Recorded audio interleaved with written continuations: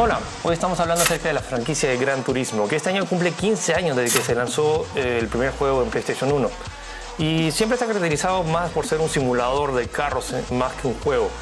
Pero siempre ha contado con una inmensa cantidad de vehículos, desde Chachikarts hasta Fórmula 1.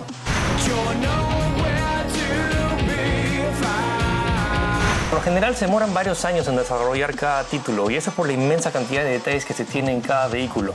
Y este año tenemos al Gran Turismo 6, que al parecer ha arreglado todos los problemas que tuvimos con Gran Turismo 5, pero sabiendo que la nueva generación de consolas ha llegado y esto está disponible para PlayStation 3, ¿vale la pena comprarlo? Lo vemos a continuación. Al igual que en las anteriores entregas, el modo campaña te hace recorrer el largo camino para obtener todas las licencias especializadas. Comienzas con autos comunes y corrientes como Toyotas y vas ascendiendo, pasando por carreras de rally, NASCAR, Le Mans hasta poder manejar autos de Fórmula 1. La cantidad de autos es impresionante, más de 1200 vehículos de casi todas las marcas del mundo que van desde camiones para repartir frutas hasta vehículos espaciales de la NASA. También se incluyen varios prototipos de autos que aún no han salido al mercado, pero que ya son manejables en esta versión. Cada vehículo ha sido recreado al máximo detalle, incluyendo el sonido del motor, el cual ha sido registrado de la vida real en cada uno de los autos.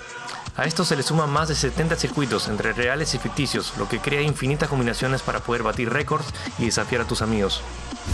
Una de las cosas que más me ha gustado de Gran Turismo 6 es la nueva accesibilidad a eventos separados sin la necesidad de pasar por todo el juego y desbloquear todos los carros de Fórmula 1. Sé que hay carros mucho más veloces, pero esto de los Chachicar es una de las categorías que más me ha gustado. Pero a diferencia de Mario Kart, acá cualquier uno de los controles son mucho más sensibles, así que cualquier giro inesperado a alta velocidad se sale muy muy rápido de la pista. ¡Ah! Gran Turismo 6 se ve muy bien en el PlayStation 3, sobre todo el nuevo modelado de los autos. Los ambientes todavía se sienten un tanto estáticos y aún se rehusan a crear un sistema de choques, pero al final siempre es bonito ver la repetición de tu carrera. Algo bienvenido son los nuevos sistemas de física y suspensión, los que hacen sentir al manejo aún más preciso que la versión anterior. Ahora, sabiendo que la nueva generación de consolas ya está ante nosotros y teniendo la fuerte competencia de Forza Motorsport 5 en Xbox One, ¿por qué uno elegiría Gran Turismo 6?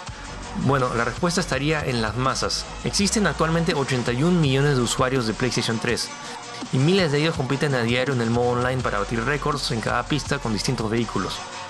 Así que en cuestiones de comunidad y actividad online, Gran Turismo todavía mantiene su corona y sigue teniendo uno de los mayores incentivos para jugarlo por meses. Pero el juego aún tiene puntos que mejorar, como son los largos tiempos de carga, el desorden en las carreras online y los menús aún son un tanto confusos, sobre todo con la inmensa cantidad de opciones que tienes a tu disposición. Pero fuera de eso, esta me ha parecido la versión más accesible que he probado de Gran Turismo en toda la serie. Debo admitirlo, nunca he sido muy fan de la serie de Gran Turismo, porque no me gusta que los autos se salgan tan rápido de la pista, a pesar de que sé que eso es lo que sucede en la vida real. personalmente prefiero juegos como Mario Kart o Need for Speed, que se centran más en jugabilidad que en realismo. Pero al mismo tiempo sé muy bien que hay una inmensa cantidad de aficionados al mundo que están buscando precisamente esto, el simulador de carreras más preciso y real posible.